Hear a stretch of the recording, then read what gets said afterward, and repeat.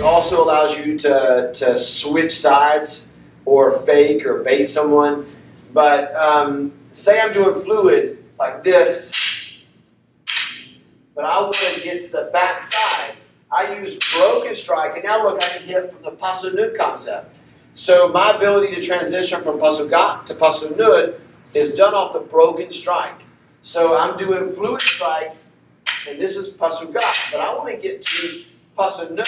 So what do I do? On angle two, I use a jab. Now I'm on the pasunod concept where I'm following, but I want to get back to pasugat. So what do I do? I use a broken strike, and then I go back to the pasugat. So the broken strike allows you to transition from a pasunod to a pasugat uh, attack as well.